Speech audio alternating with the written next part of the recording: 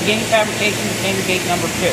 This is called skin plate assembly, that's what it's called. This starts out with, this here's the skin plate. We have these WT beams here. They're welded to, they get welded to.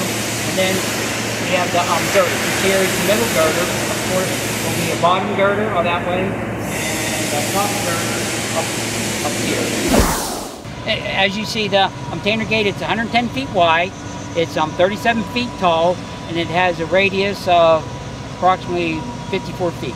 Wait, once we have the skin plate assembly completed, it goes over here to this, this first brown building that says this is a paint booth over here. And there it's applied with um, the vinyl paint. Then once then once it's um the painting is complete, it comes back out to the shop here. And that's where they install the, the, the strut arms and the cover plates and the anodes and all the miscellaneous. It's a great project and I am I'm really excited to be part of this project.